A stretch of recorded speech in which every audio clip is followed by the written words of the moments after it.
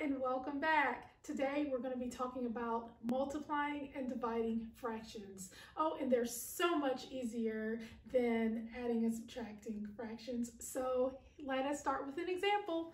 So let's say I give you 2 over 3 times 4 over 5 we can just go ahead and multiply the numerators together and multiply the denominators together. So we have 2 times 4 all over 3 times 5, and 2 times 4 is 8, and 3 times 5 is 15.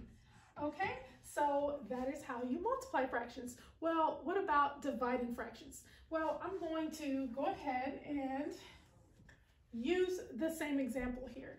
So this time I have 2 over 3 divided by 4 over 5. Now the only thing that changes here is that we need to include one more step. So here I'm going to go ahead and rewrite 2 times 3, but this time we are going to multiply by the reciprocal of 4 over 5. Well, what is the reciprocal of 4 over 5?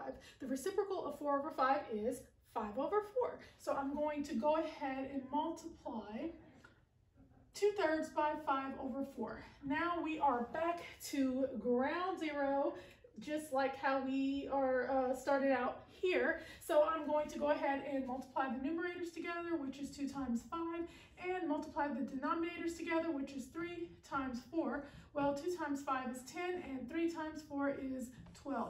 There you have it, and that, my friends, is how you multiply and divide fractions.